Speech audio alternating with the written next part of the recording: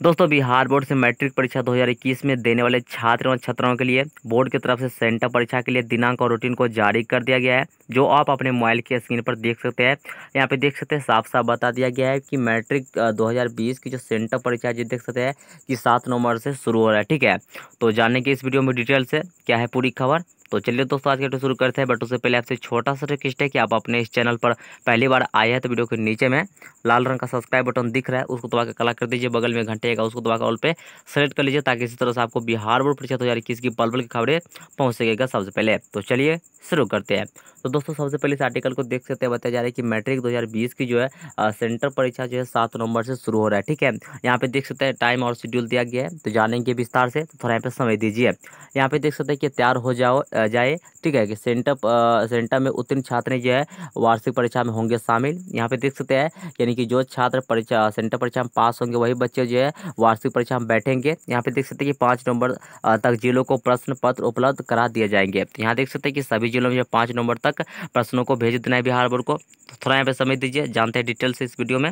यहाँ पे देख सकते हैं बताया जा रहा है आ, कि बिहार बोर्ड के निर्देश पर मैट्रिक 2020 की सेंटर परीक्षा सात से ग्यारह नवंबर तक आयोजित की जाएगी। इसमें देख सकते हैं कि इसमें नियमित एवं स्वतंत्र कोटि के दोनों के जो है छात्र छात्र शामिल होंगे। वहीं पर देख सकते हैं कि हर दिन दो पालियों में जो परीक्षा आयोजित की जाएगी और परीक्षा में राज्यभर के लगभग जो सत्रह लाख विद्यार्थी जो शामिल होंगे और बिहार माध्यमिक शिक्षक संघ के प्रवक्ता अभिषेक कुमार ने बताया है कि सेंटअप परीक्षा पास करने वाले परीक्षार्थी को को ही जो डम्मी एडमिट कार्ड यानी कि प्रवेश पत्र जारी किया जाएगा और सभी जिलों के प्रश्न पत्र जो पाँच नवंबर तक यहाँ पर उपलब्ध करा जाए कराए जाएँगे, ठीक है? यहाँ पे देख सकते हैं कि सभी विद्यालय के प्राचार्यों को सेंटअप को सेंटअप परीक्षा का जो है रिज़ल्ट संबंधित ज़िले के शिक्षा जिला शिक्षा पदाधिकारी कार्यालय में 19 नवंबर तक जमा करना है। ठीक है, उसके बाद देख सकते हैं कि परीक्षा जो है तीन तीन घंटों के दो पालियों में यहाँ पे जो आयोजित की जाएगी और प्रथम पाली यहाँ पे देख सकते हैं कि साढ़े नौ से लेकर आपको बारह पैंतालीस तक यहाँ पे होंगे, तथा द्वितीय पाली यहाँ पे दोपहर एक पंद्रह से लेकर अपराहन जो है साढ़े चार बजे तक यहाँ पे होगी।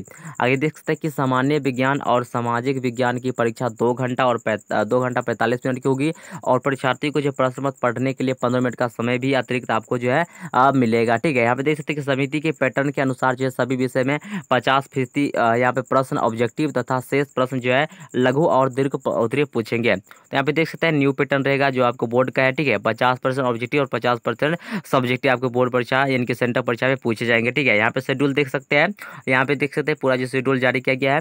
देख सकते हैं कि दसवीं की जो है जाँच परीक्षा विस्तरी का कार्य कार्यक्रम है। ठीक है, कार्यक्रम। यहाँ पे देख सकते हैं, यहाँ पे तिथि बताया गया यहाँ पे प्रथम पाली और द्वितीय पाली, यहाँ पे किस किस डेट को होना है, ठीक है। तो चलिए इसको फटाफट देख लेते हैं। यहाँ पे देख सकते हैं कि सात नवंबर, ठीक है, सात नवंबर को प्रथम पाली में आपको अंग्रेज़ी होंगी, वहीं पे द्वितीय पाली में देख सकते हैं सामाजिक विज्ञान। उसके बाद देख सकते हैं कि आठ नवंबर को यहाँ पे सामाजिक यानी सामान्य गणित होंगे प्रथम पाली में और द्वितीय भाषा होंगे द्वितीय पाली में, ठीक है। उसके बाद देख सकते हैं कि नौ नवंबर को आपको मातृभाषा, हिंदी, उर्दू, मैथिली जो भी छात्र रखे तो उसको होंगे। और सेकेंड पाले की बात करें तो यहाँ पे कुछ नहीं होंगे, ठीक है? और वहीं पर ग्यारह नवंबर देख सकते हैं कि सामान्य विज्ञान यानी कि विज्ञान यानी साइंस होंगे प्रथम पाले में, और यहाँ पे द्वितीय पाले में आपको कोई भी सब्जेक्ट नहीं रखेंगे, ठीक है? तो यहाँ पे देख सकते हैं मैट्रिक का जो है, जो भी छात्र जारी कैश में देंगे, बिहार बोर्ड से तो उन छात्रों के लिए है कि यहाँ पर जो सेंटर परीक्षा का जो शेड्यूल जारी कर दिया गया है बोर्ड की तरफ़ से तो साथ में आपको बता दें कि यहाँ पे जो है, आपको इस सब के लिए तैयारी करना शुरू कर दीजिए, क्योंकि आपको जो है, सात नवंबर, ठीक है। सात नवंबर से देख सकते हैं कि परीक्षा शुरू हो रहा है।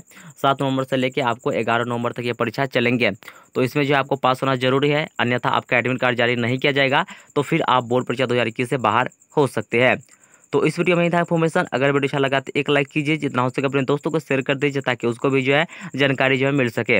आपको बता दें, ऐसे ही पल पल की खबरें दी जाती है आपके अपने चैनल पर और आप तक तभी पहुँच पाएगा जब आप वीडियो के नीचे में लाल रंग का सब्सक्राइब बटन होगा, उसको दबाएँगे और बगल वाले घंटी को दबा के ऑल पे सेलेक्ट करेंगे। तो फिर मिलते हैं एक न्यू वीडियो तब तक के लिए जय हिंद, वंदे मातरम।